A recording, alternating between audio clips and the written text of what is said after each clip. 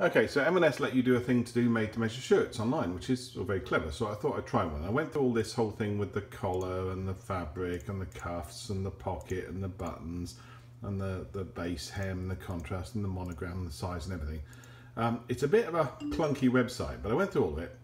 And um, then it sort of froze up and whatever and asked me to register. So I registered. Fine. So I've registered. So let me just um, let's try this.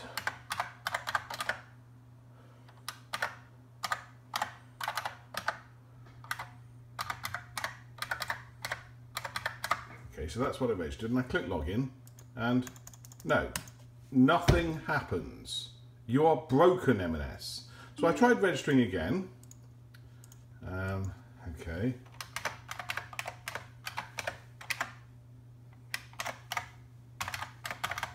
Um, I mean, I can, I'm not going to actually bother with my date of birth this time because it won't make any difference to it breaking. And this is registering, not logging in, bear, bear that in mind. Your login attempt was not successful. I wasn't trying to log in, I was trying to register again because the login didn't work. You've lost all of the stuff I put in, all of the selections I've made. You know, basically I went through all of it and clicked on basket to add to basket to order one of your 80 quid bloody shirts and you lost it all. Now you won't even let me register. You won't let me log in. You just don't work. What's the matter with you?